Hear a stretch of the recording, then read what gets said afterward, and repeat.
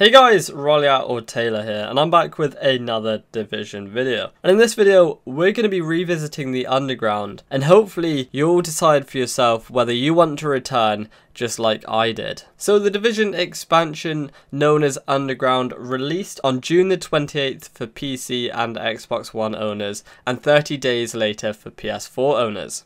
Within the expansion, not only did you get Underground, but you also received 5 gear sets, which unfortunately was cut down to 4 because they dropped the blind gear set. They also introduced a new incursion to bring the total to 2, and that was Dragon's Nest. They did also include a heroic difficulty for Falcon's Lost and Dragon's Nest, but this again was later disabled because of balancing issues. And they also introduced a few new challenge mode missions. This included Hudson Refugee Camp and Queen's Tunnel. Anyway, less of that. Why did I go back to the underground? Well, the other day, for some random reason, I was reading through the 1.6 patch notes and came across an interesting one. The way it used to work is the only way you could rank up within the underground was by completing the mission and collecting intel. This has now changed and they've now introduced underground experience for getting kills. Before that, I believe you only used to get open world experience but at this point it didn't really make sense because there's no such thing as proficiency caches. So when I actually jumped back in, I was on my PS4 account that hadn't even touched the underground.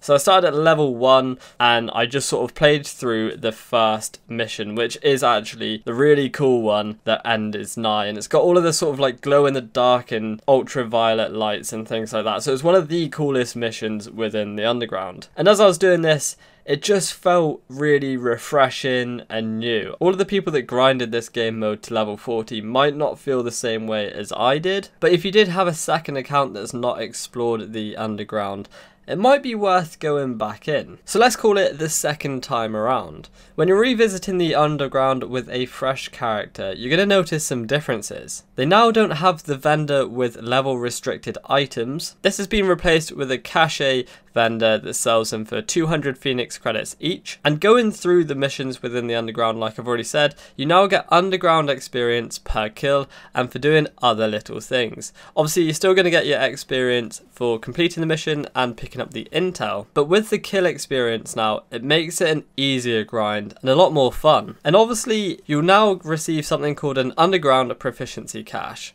And I've just learned from the community manager Matt Schotcher that you have a chance of getting, although a small chance, you have the chance of getting any exotic item within the game within these caches. Now you get a underground cache at the end of a mission or for completing it, and you also get one every time you level up. And as you're leveling up, you're going to unlock the chance to add some modifiers to each phase and the chance to run up to three phases.